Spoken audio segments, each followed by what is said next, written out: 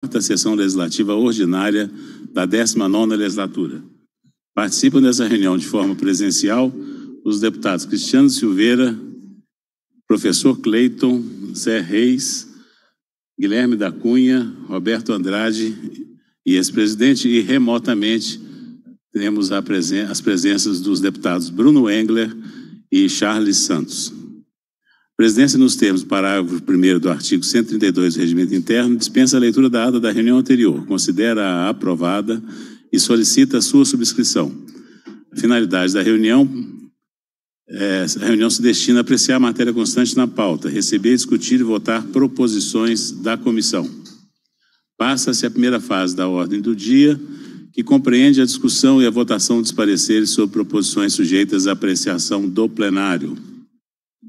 Primeira, é, projeto de lei 1203 de 2019, em primeiro turno, que autoriza a privatização ou outras formas de desestatização da Companhia de Desenvolvimento Econômico de Minas Gerais, Codemig. Autor, governador Romeu Zema Neto, o relator é o deputado Glaicon Franco.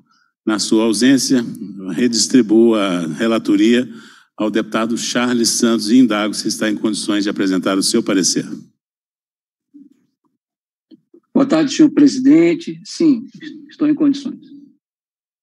Com a palavra, o deputado Charles Santos para a apresentação do seu parecer. Obrigado, senhor presidente. Parecer para o primeiro turno do projeto de lei 1203 de 2019, de autoria do senhor governador do estado, e que encaminha esta casa por meio da mensagem 49 de 9 de outubro de 2019 o projeto de lei em análise é, que autoriza a privatização e outras formas de desestatização da Companhia de Desenvolvimento Econômico de Minas Gerais, a saber, Codemig. De acordo com o artigo 1 da proposição em epígrafe, em epígrafe, fica o poder executivo autorizado a promover a privatização e outras formas de desestatização da Companhia de Desenvolvimento Econômico de Minas Gerais, Codemig, observado o disposto no parágrafo 4 do artigo 14 da Constituição do Estado. A desestatização a que se refere o caput será efetivada pelas modalidades de privatização, delegação, desinvestimentos ou parcerias mediante um, alienação de ações que garantam o controle acionário. dois, Abertura de capital. três, Aumento de capital com renúncia ou cessão total ou parcial de direitos de subscrição. quatro, Alienação, arrendamento, locação, comodato ou cessão de bens e instalações. Cinco dissolução ou desativação parcial de seus empreendimentos, com a possibilidade de alienação de ativos. Seis, extinção ou cisão. Sete, concessão, parceria público-privada, permissão ou autorização de serviços públicos. Oito, outros institutos legais que se fizerem necessários parágrafo único e incisos do artigo 1. Pelo disposto no artigo 2, fica autorizada a aplicação de receita de capital derivada da alienação de bens e direitos que integram o patrimônio da Codemig para pagamento do regime próprio de previdência social dos servidores públicos estaduais, o artigo 3 dispõe que, abre aspas, na alienação de ações que transferir o controle acionário, fica a sociedade empresária obrigada a cumprir as metas de qualidade de serviço e de atendimento aos objetivos sociais que inspiram a sua Constituição, observado o disposto no parágrafo 16 do artigo 14 da Constituição do Estado, fecha aspas. Segundo a justificativa constante na mensagem encaminhada pelo governador a esta Casa Legislativa, abre aspas, o objetivo do projeto de lei é autorizar o Estado a implementar medida exigida pelo inciso 1 do parágrafo 1 do artigo 2 da Lei Complementar Federal 159, de 19 de maio de 2017, de modo a poder pleitear seu ingresso no regime de recuperação fiscal, RRF, fecha aspas. Ainda segundo o governador, abre aspas, o dispositivo referido determina que, para aderir ao RRF, o Estado deve estar autorizado a privatizar empresas como uma das formas de se alcançar o equilíbrio das contas públicas ao final da vigência do regime. Acrescenta o governador, os fundamentos fáticos e jurídicos que justificam a solicitação de adesão do Estado ao RRF foram minuciosamente apresentados na mensagem número 48, de 9 de outubro de 2019, de minha autoria. Assim, este projeto de lei, uma vez aprovado, integrará o conjunto harmônico de normas e de atos jurídicos determinados pela referida Lei Complementar Federal, fecha aspas. Ademais, depreende-se da mensagem do governador que a autorização legislativa que se faz necessária conforme previsão dos incisos 2 e 4 do parágrafo 4 do artigo 14 da Constituição do Estado. O primeiro dispositivo estabelece que depende de lei específica a autorização para instituir, cindir e extinguir sociedade de economia mista e para alienar ações que garantam o controle dessa entidade pelo Estado. O segundo, por sua vez, determina da mesma forma que depende de lei específica a alienação de ações que garantam nas empresas públicas e sociedades de economia mista o controle pelo Estado. Por fim, Segundo o governador, abre aspas, considerando a grave situação fiscal em que o Estado se encontra, a medida é necessária e essencial para assegurar a continuidade da implementação de políticas públicas, fecha aspas. Apresentada uma breve síntese do projeto, passamos a opinar sobre os aspectos jurídico-constitucionais que cercam o tema. O artigo 25, parágrafo, parágrafo 1 da, Constituição da República consagra a autonomia de cada ente federado, autorizando-o a dispor sobre a cessão de seus bens e direitos, com o dever, entretanto, de observância às normas gerais de contratação constantes na Lei Federal 8.666 de 1993, uma vez que a sessão configura negócio jurídico celebrado pelo poder público e, portanto, submetido às condições estabelecidas pelo referido diploma legal. No que se refere à iniciativa, a matéria veiculada na proposição não se encontra no rol taxativo de temas que só podem ser iniciados por outras autoridades que não o governador donde a possibilidade de deflagração do processo legislativo pelo chefe do Poder Executivo. A respeito, tramita nesta Casa Legislativa o projeto de lei 1202 de 2019, de autoria do governador, que autoriza o Estado, por meio do poder público, a aderir ao regime de recuperação fiscal e da outras providências. Portanto, a proposição e análise institui medida de ajuste necessária à adesão do Estado de Minas Gerais ao regime de recuperação fiscal, atendendo, assim, aos princípios da sustentabilidade econômica financeira, da equidade intergeracional, da transparência das contas públicas, da confiança nas demonstrações financeiras, da celeridade das decisões e da solidariedade entre os poderes e os órgãos da administração pública, referidos no parágrafo 1 do artigo 1 da Lei Complementar Federal em referência.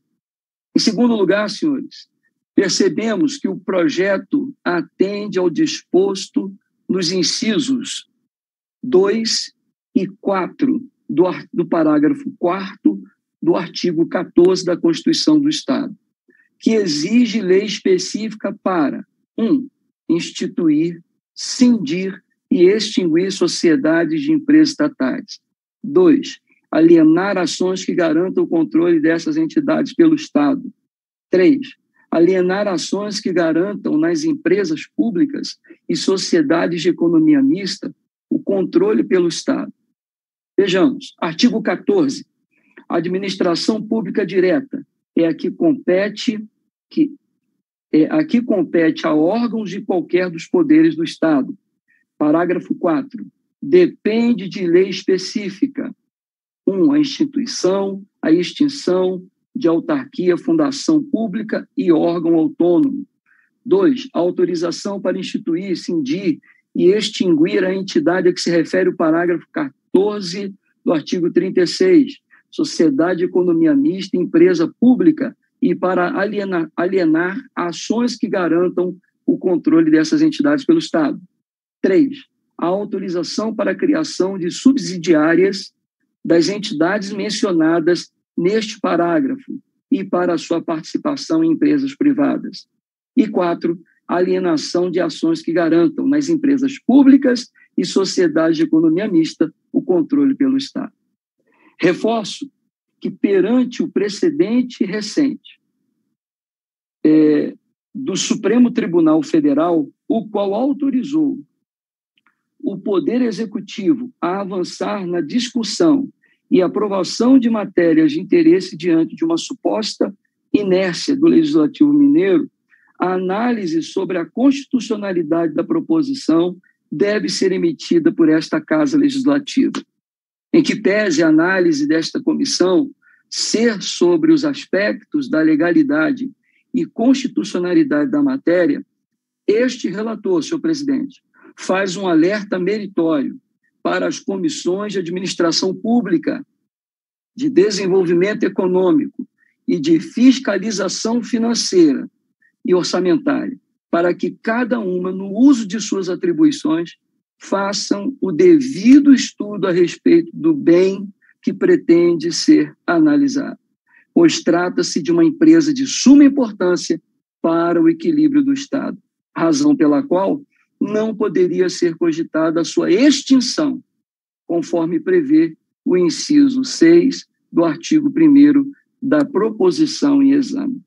Em face do exposto, é, concluímos pela juridicidade, constitucionalidade e legalidade do projeto de lei 1203 de 2019. Este é o parecer, senhor presidente Sábio Souza Cruz. Obrigado, deputado. Em discussão, o parecer. Para discutir, deputado Cristiano Para discutir, Silveira. senhor presidente. Ah, sim, perdão. Quem pediu para discutir? Deputado Charles, é, deputado Cristiano havia pedido primeiro, depois, na sequência, passa a Vossa Excelência. Ok, muito obrigado, senhor presidente. Com a palavra, deputado Cristiano Silveira. Presidente, eu quero aqui fazer a minha manifestação a respeito do, desse projeto.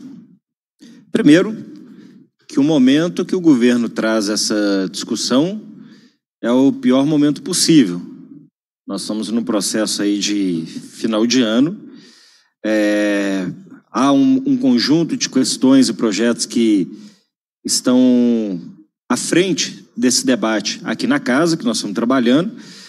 E dessa maneira, eu acho que o governo, quando propõe aqui vender o patrimônio do povo de Minas Gerais, sem criar nenhuma forma de, de escuta, nenhuma forma de participação do dono dessa empresa, que é a nossa Codemig, ele realmente está agindo de maneira arbitrária. Se fôssemos aplicar, professor Cleito, o mesmo dispositivo que fala da alienação das empresas estatais, como no caso da energia e como no caso também do saneamento, o governo teria que promover um, um plebiscito fazer uma consulta à população.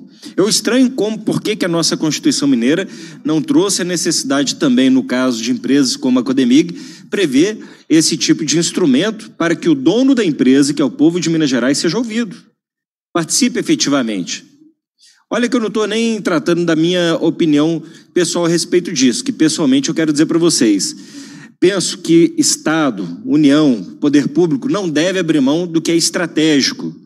A Codemig é uma empresa superavitária, é uma empresa que detém uma riqueza rara e importante, que é o nióbio, tá certo? Mais de 90% da jazida, da reserva do nióbio no mundo e da sua pureza está em Minas Gerais e Araxá. E o que, que justifica? O governo, então, alienar uma empresa que é superavitária, que tem um bom desempenho, que tem uma reserva de mineral tão valioso, estratégico no nosso país, não estou falando só de Minas Gerais, abrir mão disso. Olha que na Europa, os, os países europeus, que lá atrás flertaram com a agenda neoliberal e achavam que tinha que vender tudo, privatizar tudo, eles hoje caminham em sentido contrário. Os principais países da Europa hoje caminham no sentido, pelo contrário, da, da, inclusive da estatização dos chamados serviços estratégicos. Então veja vocês, serviços essenciais à população, recursos naturais que são é, importantes, escassos, raros, como o caso do nióbio. So, assuntos que tratam da soberania nacional não podem ser objeto que, que esteja na mão da iniciativa privada apenas na lógica da obtenção do lucro. Setores estratégicos que tratam serviços essenciais e também das nossas riquezas, que pertencem ao povo, precisa ser administrado pelo povo. Volto a dizer, é, é engraçado como que a iniciativa privada não interessa por aquilo que não dá certo das empresas públicas das estatais. Querem o que é, é, é robusto, que é superavitário, que é lucrativo, como o caso da Codemig. Eu quero lembrar que esse projeto ainda plenário, eu vou lembrar alguns deputados que estiveram conosco na legislatura passada e que hoje compõem a base do governo, deputado Sávio. Vossa Excelência vai lembrar que quando no governo Fernando Pimentel havia uma proposta que não era de privatização da Codemig, mas era um projeto para antecipação de recebível da Codemig, a, quem hoje compõe a base do governo subia na tribuna dizendo que era absurdo, que o governo Fernando Pimentel queria é, é, vender a montanha mágica de Minas Gerais. Vocês lembram dessa frase? a Montanha Mágica de Minas Gerais, a Galinha dos Ovos de Ouro de Minas Gerais. Nós vamos lembrar os parlamentares que estiveram na legislatura passada e hoje estão na casa desse discurso e dessa fala, porque se eles forem manter a posição deles, como fizeram no governo passado, serem contrários e não era a venda da Codemig, era uma antecipação de, de, de recebível da Codemig, eles votarão contra esse projeto. Ou o que, que mudou? O que, que mudou? Então, é, é, nós vamos cobrar coerência, tá certo? Que as montanhas mágicas de Minas, palavras deles, que hoje estão na base do governo Zema, a galinha de ovos de ouro de Minas Gerais não pode ser entregue para iniciativa privada. Eu acho um grande absurdo o que está sendo feito aqui. O governo propôs a venda de uma das principais empresas do Estado, uma das mais superavitárias, estratégicas, que detém uma riqueza tão importante no cenário econômico da tecnologia mundial que são as funções que hoje o Unióbio ele desempenha. Então eu quero dizer que sou contrário. Sou contrário sobre todos os aspectos. Vou fazer o debate, vou trabalhar para que esse projeto seja derrotado, porque é um absurdo. E repito, o governo abriu mão de algo tão importante e sem sequer, ao menos, ouvir o dono da empresa, porque o, o governador tem que entender o seguinte: que ele tem a permissão, uma permissão provisória de quatro anos para fazer a gestão dos bens públicos. Mas quando ele entender que ele, que ele quer vender, que ele quer abrir mão, ele tem que perguntar para o dono. E o dono é o povo de Minas Gerais que não foi ouvido a respeito dessa matéria. Obrigado, presidente. Obrigado, deputado Cristiano. Com a palavra para discutir, o deputado relator Charles Santos. Obrigado, senhor presidente. Presidente, eu gostaria apenas de falar aqui em poucas palavras e o que nós estamos analisando, e, e deixar isso muito claro para aqueles que estão nos acompanhando, que talvez não, não compreendam o processo legislativo, nós estamos analisando aqui a, a questão de competência. De competência. Uh, embora estamos tratando de um bem tão importante, tão valioso para a população de Minas Gerais, mas estamos analisando um pedido feito pelo governador. Se este pedido é ou não constitucional, se ele passa pelo crivo da legalidade, da juridicidade. E é isso que nós estamos analisando E o meu relatório, ele segue este sentido. Tanto é assim, senhor presidente, que uh, eu me proponho, eu me propus é, é, é, já antecipadamente, embora emitindo aqui um parecer favorável, esse parecer não reflete o meu posicionamento em plenário, não reflete o meu posicionamento ou o posicionamento dos republicanos nesta casa. Porque entendo que o tema precisa ser amplamente discutido, o tema precisa ser amplamente destrinchado.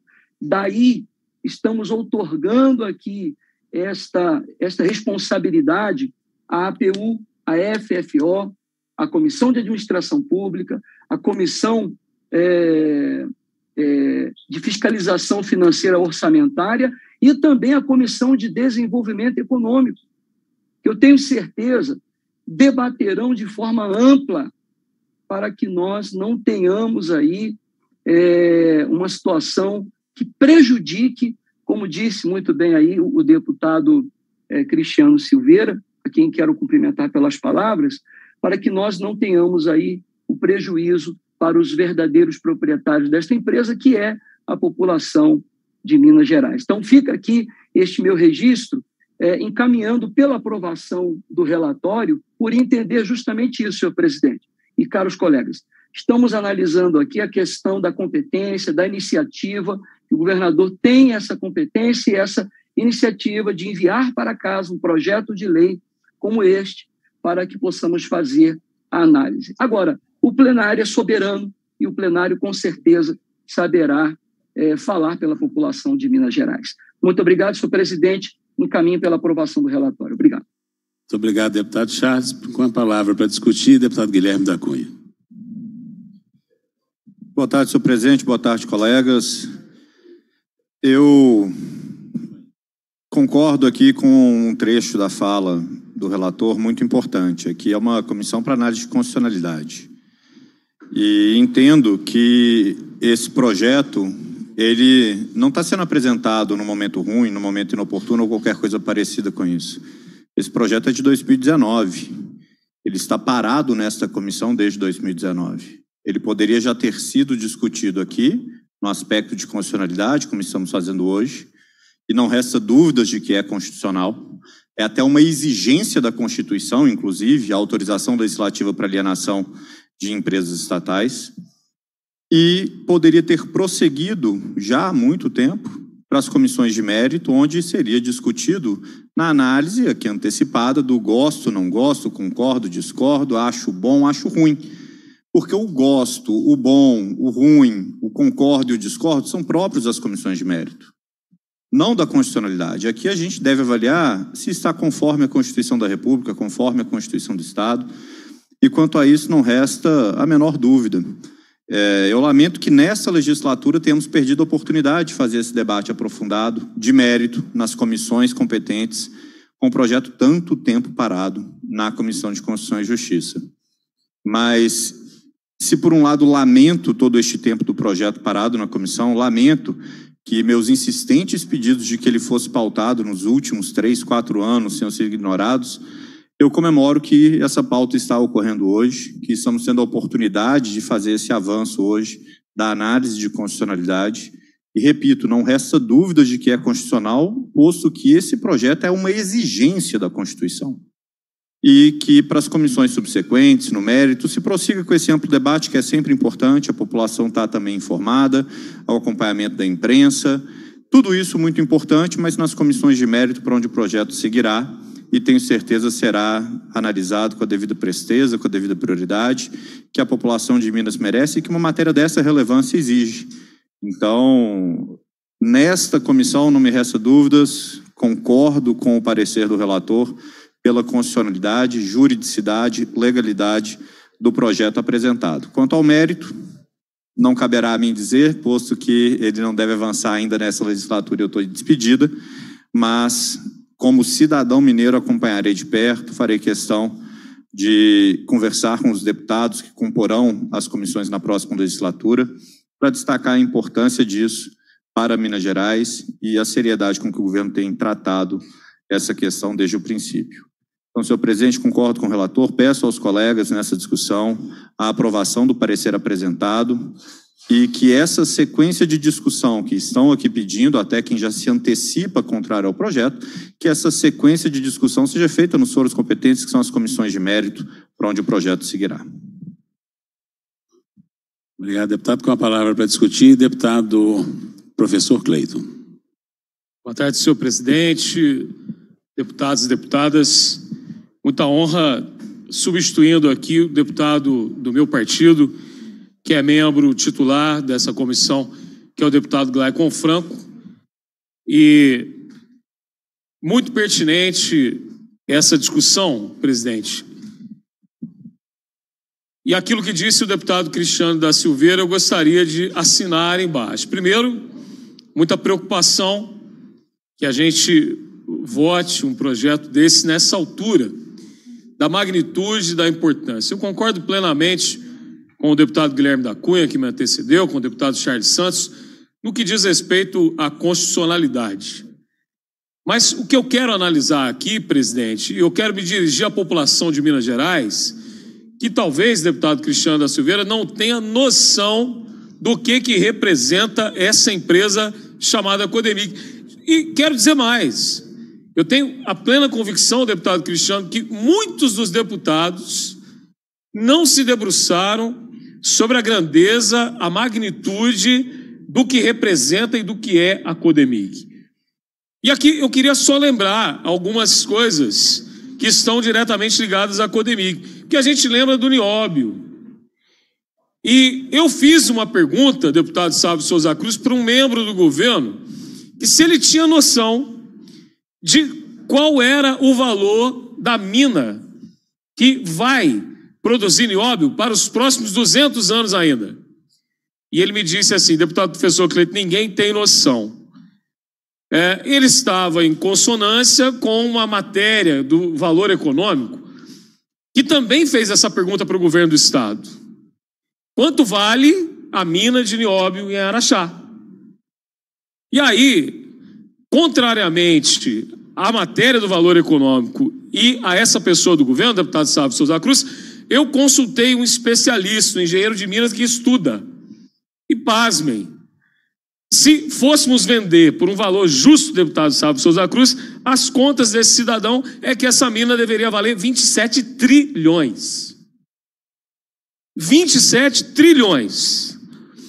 Nós estamos falando aqui da maior pesquisa de transformação de grafite em grafeno do mundo de um projeto que foi copiado da Indonésia em 2015, trazido para cá, para o FMG, que disponibilizou ao Estado 48 especialistas e fazendo com que nós, em Minas Gerais, superássemos em muito, em muito as pesquisas da Indonésia, levando Minas Gerais a ser vanguarda e ter expertise na exploração do grafite, na transformação do mesmo em grafeno. Vou dizer mais, população de Minas Gerais. A Codemig possui um núcleo intelectual de produção de games, que pouca gente sabe disso, que está entre um dos maiores grupos do mundo. Nós estamos falando aqui da exploração de lítio, que, diga de passagem, acabamos de ter um prejuízo de 500 milhões na venda da participação do Estado na empresa que explora o lítio. Vendeu-se por 200, quando na verdade o valor de mercado hoje já exigia 700 milhões. É, eu estou colocando essas coisas aqui porque, na verdade, eu, eu tenho a plena convicção que nós vamos discutir muito isso nessa casa, só que a população de Minas precisa ter noção de que nós não estamos falando de uma empresa qualquer, nós estamos falando de uma empresa que pode representar a salvação das nossas finanças, a salvação da nossa crise fiscal mas é mais fácil falar em regime de recuperação fiscal. É mais fácil se adotar medidas amargas que atingem diretamente o servidor público, o serviço público de qualidade e de entregar, ou pelo menos tentar entregar de bandeja as nossas riquezas que passa pela nossa soberania, pela nossa autonomia enquanto Estado, enquanto povo, para essas aves de rapina que querem solapar e que querem depredar um patrimônio que está entre os maiores patrimônios minerais do planeta. É por isso que, apesar de entender e de concordar com o relator, mas eu acho que projetos danosos como esse nós enterramos é no ninho. Por isso, eu já vou encaminhar que o meu voto será contra e lutarei com todas as forças para que essa empresa, que pertence ao povo de Minas e à sua soberania, permaneça com quem tem que ficar, com o povo de Minas Gerais. Obrigado, presidente. Obrigado, deputado professor Cleiton. Para discutir, passa a palavra ao deputado Zé Reis. Senhor presidente, Sávio, na primeira hora, eu quero parabenizá-lo, né, findando já a proximidade de Natal, trazer a baila, trazer a discussão um projeto que aniversariamos mês passado, três aninhos né, aqui nessa comissão.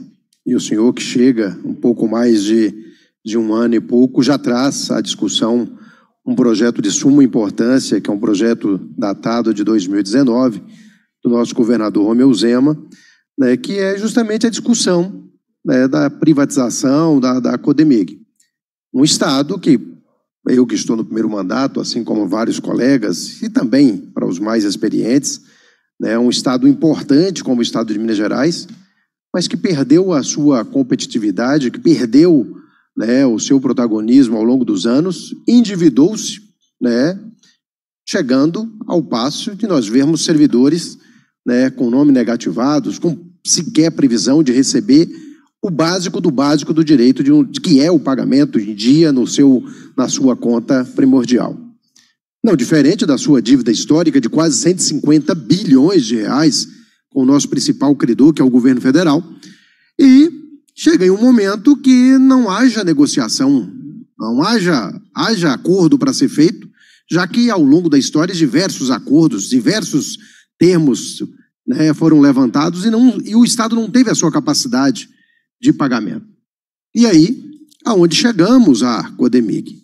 Por que a Codemig? O fato é que o Estado é devedor. E o fato é que o Estado tem que cumprir com as suas obrigações de custeio, de operacional, e o fato é que o Estado tem que gerar receita. E a forma mais rápida e mais prática seria a criação de novos impostos, a taxação. Mas quem é que quer isso? Restando, então, Restando, então, a opção é, de desfazer os bens existentes na sua propriedade, na sua titularidade. Seria CEMIG? Ninguém aceita. Seria Copasa? Seria quem? Quem mais?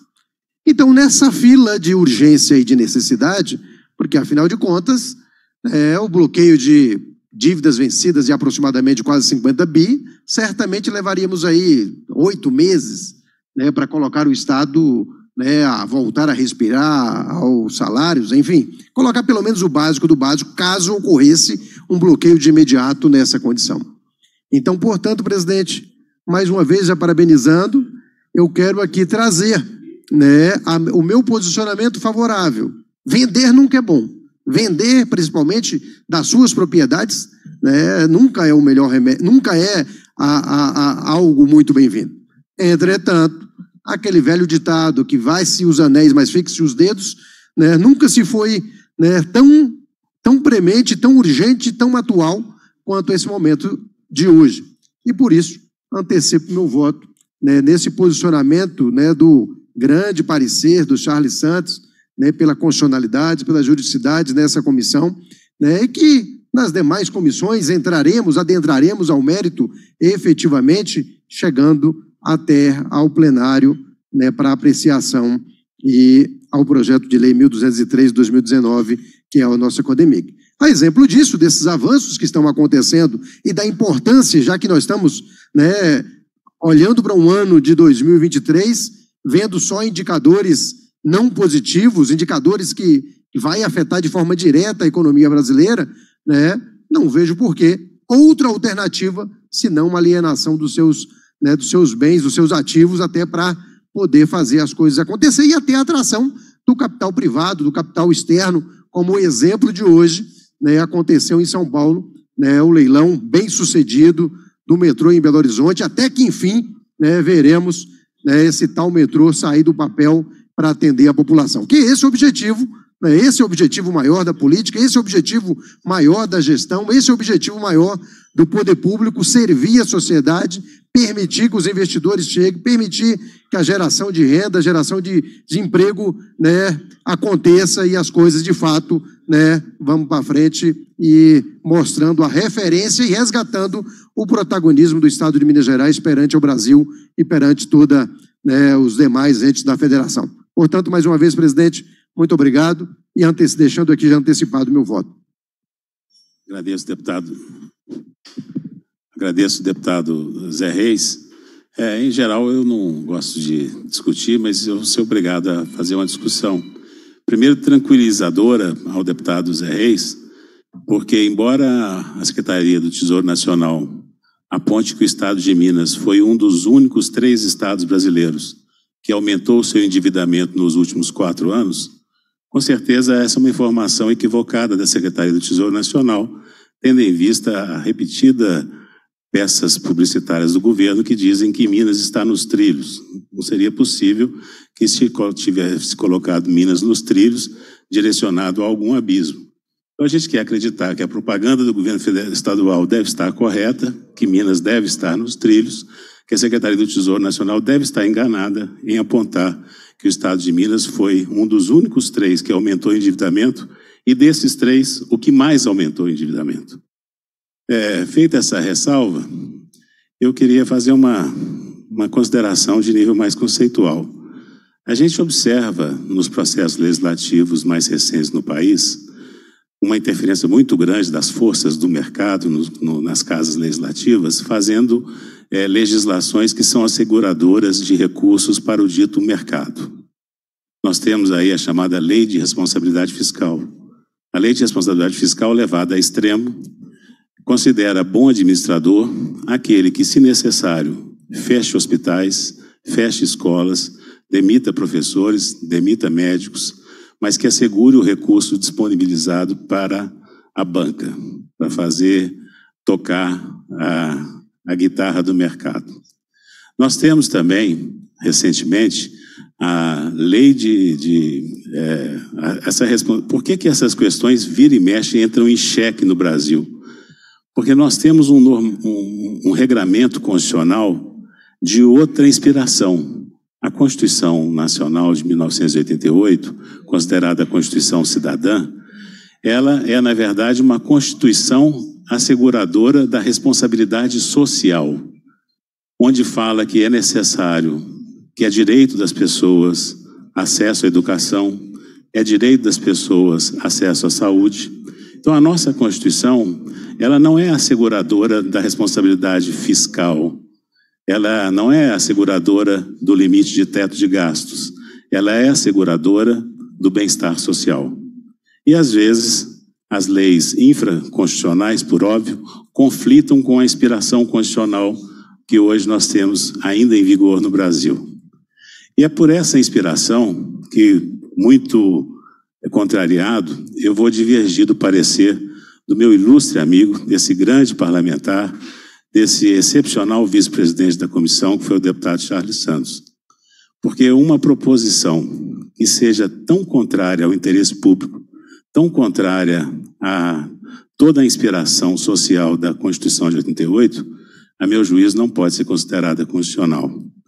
Se a gente voltar um pouco no tempo, nós vamos ver que a própria Codemig nasceu dentro do poder público dentro da universidade, dentro da academia, com a participação do Departamento da Escola de Minas, com a participação da Fundação João Pinheiro, nas pesquisas que, primeiro, chegaram a identificar aquela jazida e depois na busca da melhor maneira de seu aproveitamento. Tudo com investimento público, tudo com dinheiro do povo de Minas. Na exploração, optou-se por trazer uma sociedade como empresa privada. E mesmo assim foi criada uma terceira empresa e foi estabelecido ali que das duas minas seriam lavradas em, em, em quantidades iguais na mina privada e na mina do Estado. Nós aí vivemos uma situação conflituosa, porque a mina do Estado ela tem minério de nióbio de mais alto teor. E deu-se uma interpretação até hoje não corrigida de que o, o, o RON, o Run of Mine, é que é, baliza as quantidades iguais e não a quantidade da substância de interesse que é o nióbio. Ou seja, boa parte daquilo que a mina privada é colocada junto com o que é extraído da mina pública é areia, é estéreo. E sem que até hoje se tenha chegado a um mecanismo de compensação. Mas a Codemig é mais do que uma empresa de nióbio. É uma companhia de desenvolvimento. E cabe a uma companhia de desenvolvimento pensar em alternativas futuras para o desenvolvimento do Estado, para contemplar as enormes necessidades do povo de Minas. O projeto Grafeno, mencionado pelo professor Cleito, foi assim absurdamente interrompido, causando grande é, surpresa e revolta, inclusive na Universidade Federal de Minas Gerais, e pondo a perder todo o investimento que ali havia sido feito. Há ainda na Codemig, em curso, ainda não totalmente desmontado, um projeto de terras raras, que são substâncias para as quais se vislumbram utilizações futuras muito é, adequadas, muito vantajosas, dentre elas o lítio, que aqui também foi mencionado pelo deputado professor Cleito. É, o Estado, em 2018, a Codemig adquiriu 33% da Companhia Brasileira do Lítio, pagou por isso 80 milhões de reais. Pois bem, este ano, a Codemig vendeu essa participação por 205 milhões de reais. Aparentemente, um bom negócio. Comprou por 80 e vendeu por 205, é, menos de quatro anos depois. Mas talvez o grande negócio tenha sido a aquisição por 80. Porque, para quem não sabe, no mesmo mês, ou no mês subsequente a venda da participação do Estado dos 33% na Companhia Brasileira do Lítio por 205 milhões, os chineses compraram da Companhia Brasileira de Lítio rejeito, eu vou repetir aqui para ficar marcado, se puder transcrever em alta, foi comprado o rejeito da Companhia Brasileira de Lítio por 150 milhões de dólares. 150 milhões de dólares. Então, esse comprador dos 33%, ele recebeu 33% de 150 milhões de dólares. Ou seja, só a sua parte do, do rejeito é cerca de 50 milhões a mais do que ele pagou por todos os 33% da Companhia Brasileira do Lítio.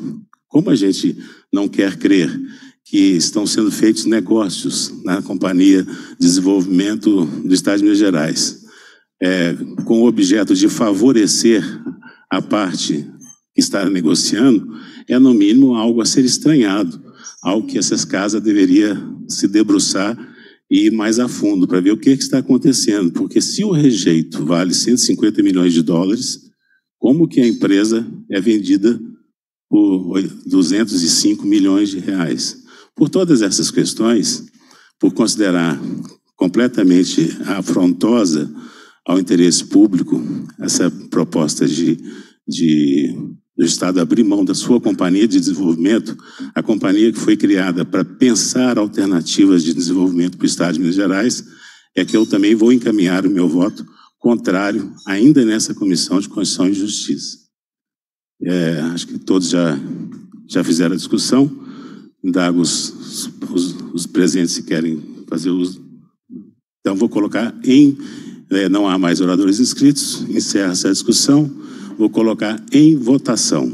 Os deputados que são favoráveis à aprovação do parecer do ilustre deputado Charles Santos permaneçam como se encontram e os contrários queiram manifestar-se. Pelo microfone. Presidente, registro meu voto contrário ao projeto do governo de privatização da Codemig. Presidente, também encaminho meu voto contrário a essa privatização da Codemig. Eu também, como pelas razões que já tive oportunidade de escorrer, voto contra, com muito contra gosto, com dor no coração, de votar contra o parecer desse ilustre amigo, deputado Charles Santos. Fica-se, então, aprovado por quatro votos a três o parecer do deputado Charles Santos. Passa Passa-se a terceira fase da ordem do dia, que compreende o recebimento, discussão e votação de proposição da comissão. Indago aos deputados se há alguma matéria a ser apreciada nessa fase. Não havendo mais nada a ser apreciada nessa fase, a presidência considera cumprida a finalidade da reunião, agradece a presença dos parlamentares, determina a lavratura da ata e encerra os trabalhos, desejando a todos um bom final de tarde, boa noite e um, um bom, um bom final de semana. Mas deixa eu te contar a coisa.